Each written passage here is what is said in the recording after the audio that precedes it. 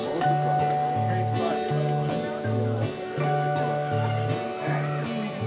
1845, the population of Ireland was about 9 million people.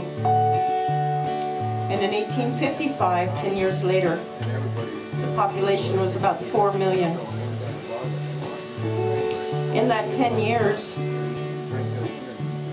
somewhere between one and a half and two and a half million people died as a direct result of the famine, either through starvation or what became known as famine fever.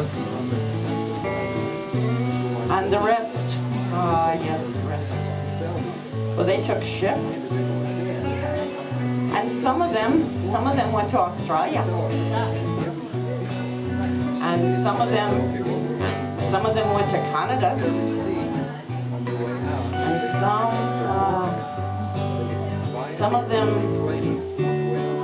they ended up in Chicago.